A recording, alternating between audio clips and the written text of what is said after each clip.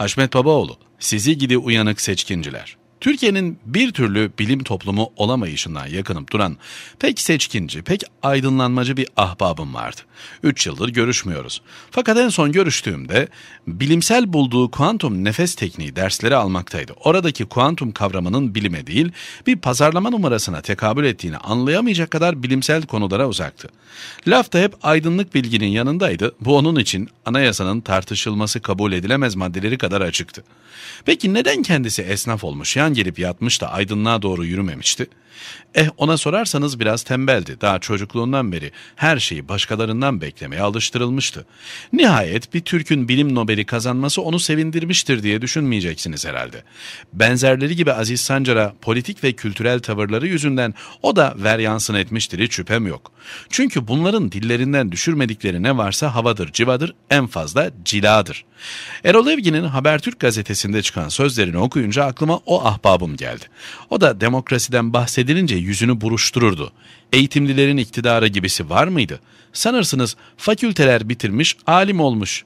Asıl dertleri iktidar, sivil, asker, bürokrasi veya sermaye oligarşisi seçkinleri tarafından sevilmek, okşanmak, onaylanmak, onların arasına kabul edilmektir. O kabul edilme konusunu hafife almayın. Türk seçkinciliği bizatihi masonik bir yapı taşır. Yani birbirlerini görür, işaretleşir, karşılıklı pohpohlamalarla vakit geçirirler. Ciddiye alınacak bir tarafları var mıdır peki? Artık ve şimdilik yoktur. Baktım da 3 üniversite bitiren birinin oy hakkının daha fazla olması gerektiğini savunmuş Evgin.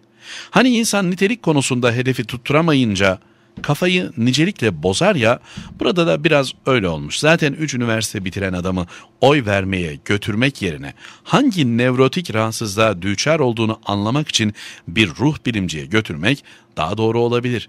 Seçkinciliğin Evgen'inde gördüğümüz gibi naif ve azıcık da demode kalanına fazla takılmamalı. Fakat Robert Kolejlilerin bildirisinde gördüğümüz gibi tilkilikler tehlikelidir. Neymiş? Herkese eşit özgürlükçü eğitim hakkı doğmadıkça susmayacaklarmış. E o zaman yapılacak ilk iş o liseyi terk etmektir derhal. Var mı öyle ama? En iyisi demokrasiye saygı duyun, derslerinize odaklanın. Hem tatile de az kaldı. Nasıl olsa hayatta yine siz kazanırsınız. Halk bunu bilmiyor mu sanıyorsunuz? Haşmet Babaoğlu, Sabah.